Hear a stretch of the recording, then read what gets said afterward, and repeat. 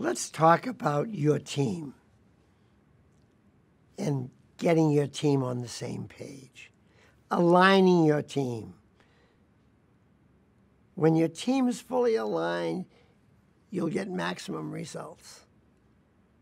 How do you get your team aligned? You define clearly a mission. Where are we going?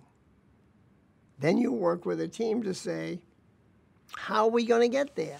What behaviors will we need to get there? Will we need a group of people that share ideas with each other?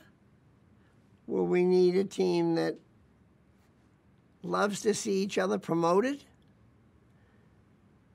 Will we have a team that acts quickly?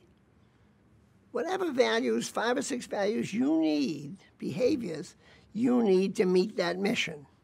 Mission's where you're going.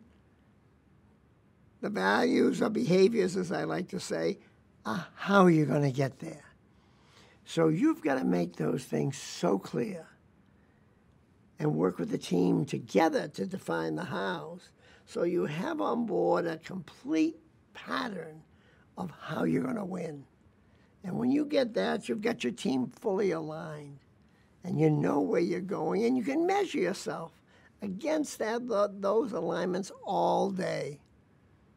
And you can see just how you're doing. You always are going to know where you are versus the objective. As the objective gets higher and higher because you're performing at higher and higher le- levels, you'll be exciting the team more and more with victory after victory.